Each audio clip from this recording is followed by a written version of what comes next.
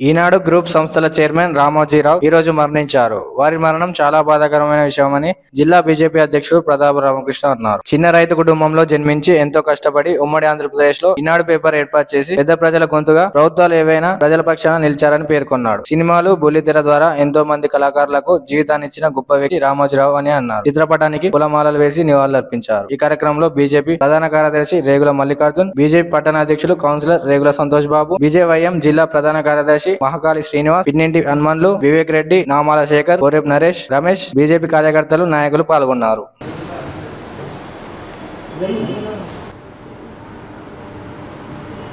ఈనాడు group సంస్థల అధిపతి రామోజీరావు గారు ఉదయాన్నే కన్వెన్షన్ మనందరం కూడా తెలిసిందే దానికి భారతీయ జనతా పార్టీ రాజ్యాంగ స్థితిలో ప్రజల సంతాపాన్ని ప్రకటిస్తూ ఉన్నాం.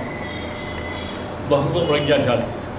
చిన్న కుటుంబంలో ఒక వ్యవసాయ కుటుంబంలో పుట్టిన తర్వాత ఆంధ్రప్రదేశ్ ఉమ్మడి ఆంధ్రప్రదేశ్ రాజకీయాలలో తెలంగాణ రాజకీయాలలో చిత్ర పరిశ్రమకే కాక బుల్లితెర మీద కొన్ని లక్షలాది మంది ఉపాధి కోసం ఏదైనా మార్గదర్శి ఫండ్ కానీ టీవీ కానీ దాదాపు భారతదేశంలో ఎన్ని భాషలు అన్ని భాషల్లో కూడా ఈటీవీ మనం చూస్తున్నామంటే ఆయన కృషి మరి అలాంటి వారు చాలా రకంగా కూడా అధికారంలో ఏ పార్టీతో ఉండగా స- సరిగ్గా ఢీకొన్నాడు అధికారంలో ఉన్న ప్రతి పార్టీ కూడా చాలా ఎంత కష్టపెట్టిందో మనం కూడా గతంలో చూసినాం.